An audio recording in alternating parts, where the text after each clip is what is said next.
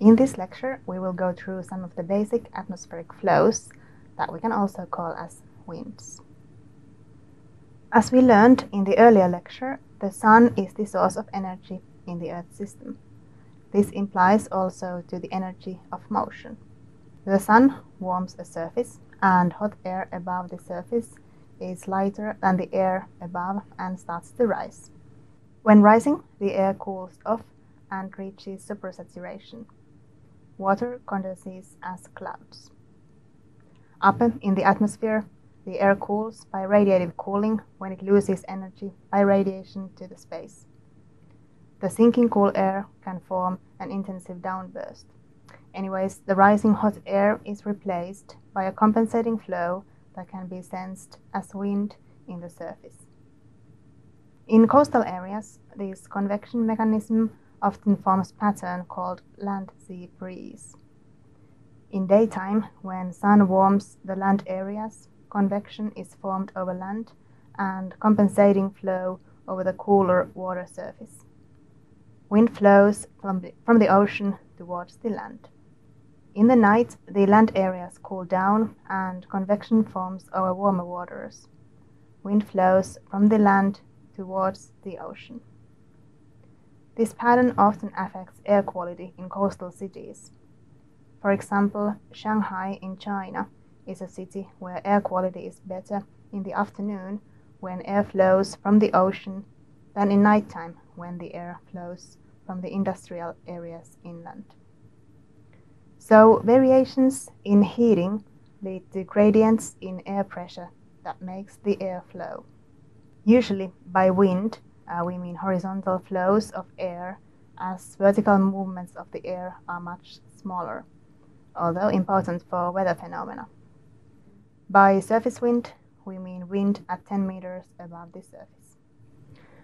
The pressure gradient makes the air to flow from higher pressure towards the lower pressure, as the imbalances in the atmosphere tend to find equilibrium. This is called the pressure gradient force. So the air flows from the higher pressure towards the lower pressure, but uh, the Earth is rotating so the Coriolis effect turns the flow.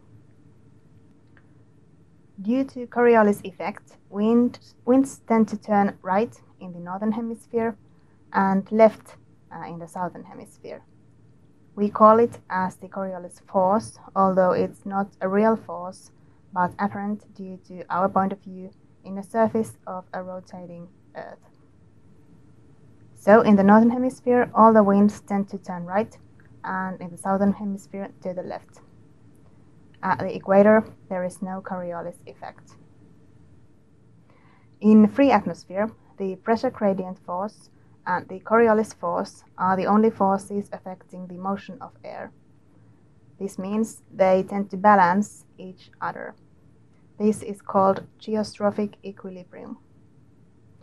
So in the northern hemisphere, when the air flows from the higher pressure towards the lower pressure, the Coriolis force makes it to turn to the right until equilibrium is reached and these two forces balance each other. This means the air flows counterclockwise around the low pressure and clockwise around the high pressure.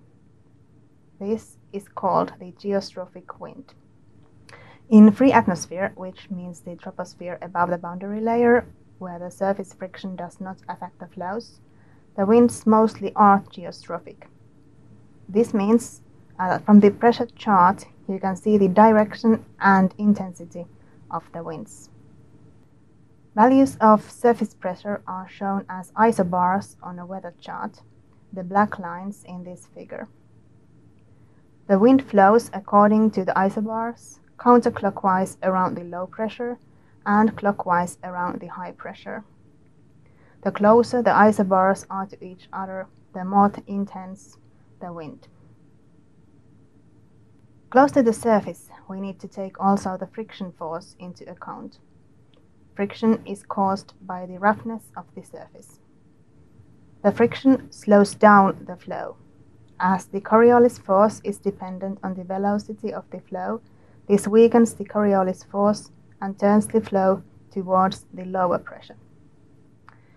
To summarize, in free atmosphere, geostrophic equilibrium applies and winds flow according to the isobars counterclockwise around low pressure and clockwise around high pressure.